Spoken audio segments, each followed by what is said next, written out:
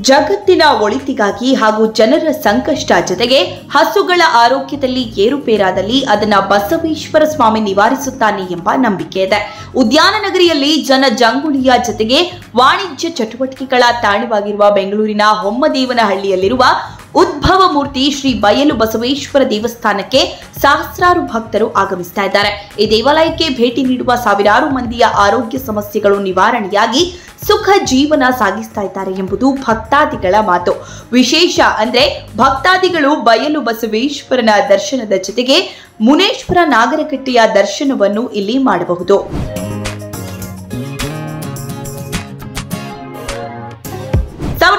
ಎಂಬತ್ತೊಂಬತ್ತನೇ ಇಸವಿಯಲ್ಲಿ ಉದ್ಭವ ಮೂರ್ತಿ ಶ್ರೀ ಬಯಲು ಬಸವೇಶ್ವರ ಸ್ವಾಮಿಗೆ ಅಕ್ಕಿಪೇಟೆಯ ಭಕ್ತ ಮಹಾಶಯರಿಂದ ಕಾರ್ತಿಕ ಮಾಸದ ಕಡೆ ಸೋಮವಾರ ಕಡಲೆಕಾಯಿ ಪರೀಕ್ಷೆ ಮತ್ತು ಸಂಜೆ ದೀಪೋತ್ಸವ ಕಾರ್ಯಕ್ರಮವನ್ನ ನಡೆಸಿಕೊಂಡು ಬರಲಾಗ್ತಾ ಇದೆ. ವರ್ಷಕ್ಕೆ ಒಂದು ಬಾರಿ ನಡೆಸುವ ಈ ಅಂದಾಜು ಸಾವಿರದ ಎಂಟುನೂರ ತೊಂಬತ್ತೈದರಿಂದ ಕಾರ್ತಿಕ ಮಾಸದ ಕಡೆ ಸೋಮವಾರ ಶ್ರೀ ಸ್ವಾಮಿಗೆ ರುದ್ರಾಭಿಷೇಕ, ಮಹಾಮಂಗಳಾರತಿ ನಂತರ ಅನ್ನದಾನ ಕಾರ್ಯಕ್ರಮವನ್ನ ಬರುವಂತಹ ಎಲ್ಲಾ ಭಕ್ತಾದಿಗಳಿಗೂ ನಡೆಸಿಕೊಂಡು ಬರ್ತಾ ಇದ್ದಾರೆ.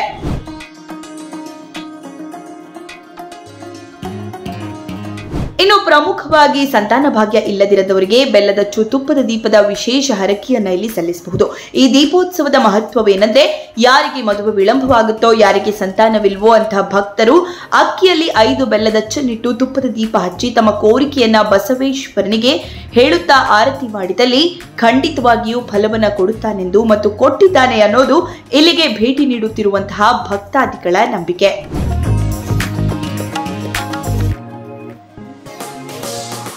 ಹಿಂದೆ ಇದು ಕಾಡಿನಲ್ಲಿ ಉದ್ಭವವಾದ್ರಿಂದ ಬಯಲು ಬಸವಣ್ಣನೆಂದು ಕರೀತಾರೆ. ಅಂದಿನಿಂದ ಇಂದಿನವರೆಗೂ ಈ ಭಾಗದ ಸುತ್ತಮುತ್ತಲಿನ ಊರುಗಳಾದ ಭಕ್ತಾದಿಗಳು ಬೇಡಿದ ಕೋರಿಕೆಗಳನ್ನ ಈಡೇರಿಸ್ತಾನೆ.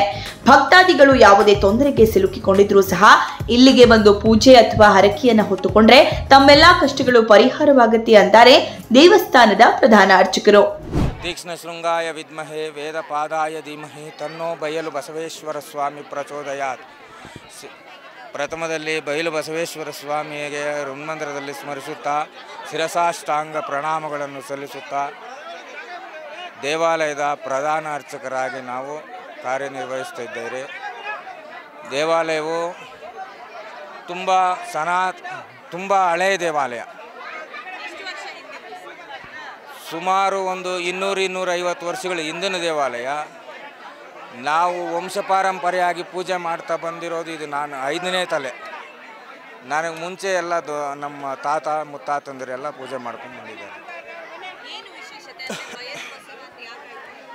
ಈ ಬಯಲು ಬಸವೇಶ್ವರ ಸ್ವಾಮಿ ಅಂತ ಯಾಕಾಯಿತು ಅಂತಂದರೆ ತುಂಬ ಹಿಂದೆ ಇಲ್ಲಿ ಕಾಡು ಬನ್ನೇರುಘಟ್ಟ ಸಮೀಪ ಇರೋದರಿಂದ ಬನ್ನೇರುಘಟ್ಟದ ಕಾಡೇ ಇಲ್ಲಿತ್ತು ಅನ್ನೋದು ಹಿಂದಿನ ಕಾಲದಿಂದ ನಮ್ಮ ತಾತ ಮುತ್ತಾತನವರು ಹೇಳ್ತಾ ಇದ್ರು.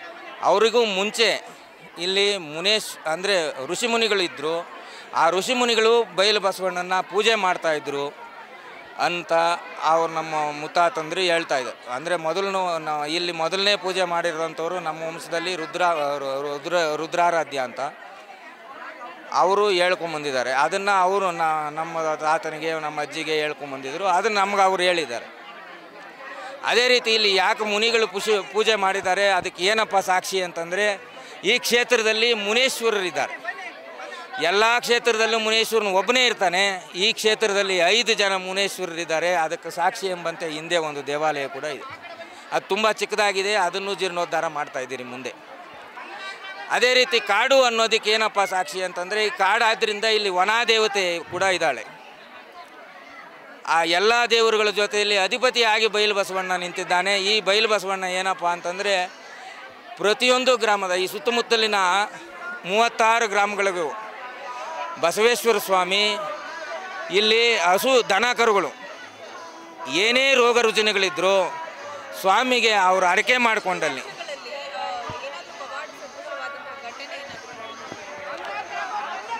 ನಿತ್ಯ ಪವಾಡ ನಡೀತದೆ ನಮ್ಮ ಬಸವಣ್ಣ ಹತ್ರ. ಏನಪ್ಪ ಅಂತಂದರೆ ಯಾರಿಗೆ ಹಸುಗಳಿಗೆ ಏನೇ ತೊಂದರೆ ಆಗಿರಲಿ ಅವರು ಇವತ್ತು ಮೀಸಲು ತೆಗೆದು ಕಟ್ಟಿಬಿಟ್ರೆ ಬಸವಣ್ಣ ಹೆಸರಲ್ಲಿ ನಾಳೆ ಅಥವಾ ನಾಡದ್ರಲ್ಲಿ ಆ ಹಸು ಸಂಪೂರ್ಣವಾಗಿ ಗುಣ ಆಗಿರುತ್ತೆ. ಬರೋ ಸೋಮವಾರ ಅವರು ಆ ಹಸುವಿನ ಹಾಲು ಕರ್ಕೊಂಬಂದು ಪೂಜೆ ಕೊಡೋದು ಇಲ್ಲಿ ಪ್ರತೀತಿ. ನಮಗೆ ಯಾಕೆ ಗೊತ್ತಾಗ್ತೈತೆ ಅಂತಂದರೆ ಅವರೇ ಹೇಳಿರೋಂಥ ಮಾತು.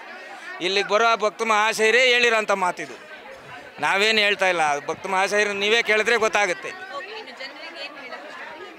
ಈ ಸಂದರ್ಭದಲ್ಲಿ ಬಸವೇಶ್ವರ ಸ್ವಾಮಿ ಜೀರ್ಣೋದ್ಧಾರ ಕಾರ್ಯ ನಡೀತಾ ಇದೆ. ಇಲ್ಲಿ ಆ ಮೂರು ನಾಲ್ಕು ದೇವತೆಗಳಿದ್ದಾರೆ. ಬಸವೇಶ್ವರನ ಬಿಟ್ಟು ಮೂರು ನಾಲ್ಕು ದೇವತೆಗಳಿದ್ದಾವೆ. ಆ ಪ್ರತ್ಯಾದಿ ದೇವತೆಗಳು ಅಂತ ಹೇಳ್ತೀರಿ. ಆ ಪ್ರತ್ಯಾದಿ ದೇವತೆಗಳಿಗೆ ಹಿಂದಿನ ಭಾಗದಲ್ಲಿ ಒಂದು ಕಟ್ಟೆ ನಿರ್ಮಾಣ ಮಾಡಿದ್ದೀರಿ. ಅದಕ್ಕೆ ಮುಂದೆ ಅದಕ್ಕೂ ಚಿಕ್ಕ ಸಣ್ಣ ಸಣ್ಣದಾಗಿ ಕಲ್ಲಿನಲ್ಲೇ ದೇವಸ್ಥಾನ ನಿರ್ಮಾಣ ಮಾಡಬೇಕು ಅಂದ್ಕೊಂಡಿದ್ದೀರಿ. ಇಲ್ಲಿವರೆಗೂ ಈ ಕಲ್ಲಿನ ನಿರ್ಮಾಣಕ್ಕೆ ಸಾಕಷ್ಟು ಜನ ಭಕ್ತರು ಅವರ ಧನ ಸಹಾಯ ಮಾಡಿದ್ದಾರೆ. ಇದೇ ರೀತಿ ಇನ್ನು ಮುಂದೆನೂ ಸಹಕರಿಸಲಿ. ಅಂತ ನಾವು ಆಶಿಸ್ತೀರಿ.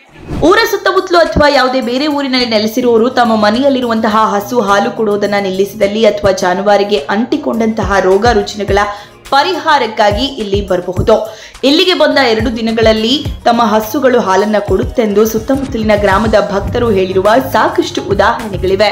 ನಾನು ಈ ದೇವಸ್ಥಾನಕ್ಕೆ ಮೂವತ್ತು ವರ್ಷ. ಮೂವತ್ತು ವರ್ಷ ಅದಕ್ಕೆ ಮುಂಚಿನಿಂದ ಇದು ಪುರಾತನ ದೇವಾಲಯ. ಇಲ್ಲಿನ ಇತಿಹಾಸ ಪುರಾಣ ಪ್ರಸಿದ್ಧವಾಗಿರ್ತಕ್ಕಂಥದ್ದು. ಒಮ್ಮದೇನಹಳ್ಳಿಯಲ್ಲಿ ನೆಲೆಸಿರ್ತಕ್ಕಂಥ ಬೈಲು ಬಸವೇಶ್ವರ ಸ್ವಾಮಿ ಅಂತೇಳಿ ಪುರಾಣ ಪ್ರಸಿದ್ಧವಾಗಿದ್ದು ಇತಿಹಾಸದಲ್ಲೇ ಉಂಟು. ಆ ಕಾಲದಿಂದಲೂ ಕಾರ್ತೀಕ ಮಾಸದಲ್ಲಿ ವಿಶೇಷ ಪೂಜಾ. ಅಂದರೆ ದೇವಾಲಯ ಈ ರೀತಿ ಇರಲಿಲ್ಲ ಹಿಂದೆ ಇನ್ನೂ ಚಿಕ್ಕದಾಗಿತ್ತು, ಆಮೇಲೆ ಸ್ವಲ್ಪ ದೊಡ್ಡದಾಯಿತು, ಆಮೇಲೆ ಇವಾಗ ಭವ್ಯವಾಗಿರ್ತಕ್ಕಂಥದ್ದು.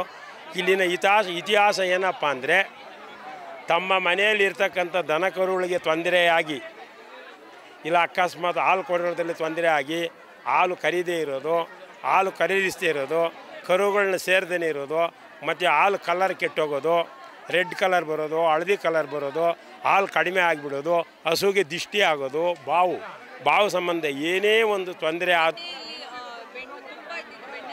ಹಾಂ ಬೆಳಗ್ಗೆ ನೀವು ಅಭಿಷೇಕದಲ್ಲಿ ನೋಡಿದ್ರೆ ಅಭಿಷೇಕ ಮಾಡಿದ್ದೀವಿ.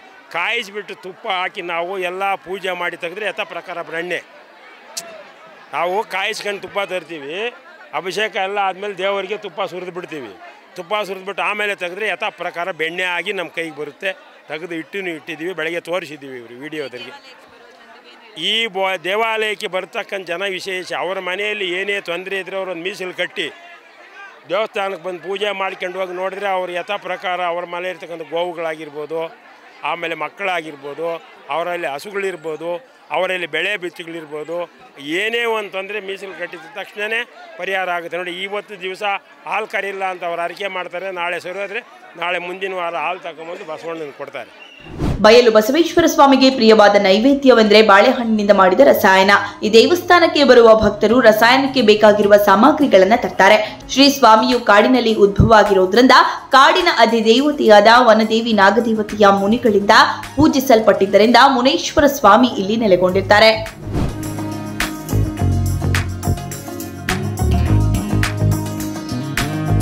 ಹೊಮ್ಮದೇವನಹಳ್ಳಿ ಗ್ರಾಮದ ಪೂರ್ವ ಭಾಗದಲ್ಲಿ ಅನಾದಿ ಕಾಲದಿಂದಲೂ ಉದ್ಭವಗೊಂಡಿರುವ ಬಯಲು ಬಸವೇಶ್ವರ ದೇವರ ಮಹಿಮೆ ಅಪಾರ. ದೇವಾಲಯದಲ್ಲಿ ಸೋಮವಾರದಂದು ರುದ್ರಾಭಿಷೇಕ ಪಂಚಾಮೃತ ಅಭಿಷೇಕ ನೆರವೇರುತ್ತವೆ. ಇಲ್ಲಿನ ವಿಶೇಷತೆ ಅಂದ್ರೆ ಬಸವನಿಗೆ ತುಪ್ಪದಿಂದ ಅಭಿಷೇಕ ಮಾಡಿದಲ್ಲಿ ಅದು ಬೆಣ್ಣೆಯಾಗುವುದಂತೂ ಪವಾಡ.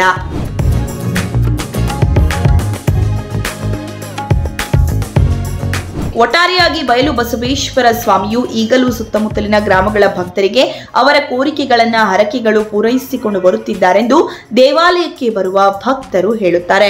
ತುಂಬಾ ವರ್ಷದಿಂದ ಬರ್ತಾ ಇದ್ದೀರಿ ಇಲ್ಲಿ ದೇವಸ್ಥಾನಕ್ಕೆ. ಇಲ್ಲಿ ಬಂದಾಗ ನಿಂಕ ತುಂಬಾ ಒಳ್ಳೇದಾಗಿದೆ. ತುಂಬಾ ಅನುಕೂಲ ಮಾಡಿಕೊಡ್ತಾ ಇದ್ದಾನೆ ಬಸವಣ್ಣ ದೇವರು.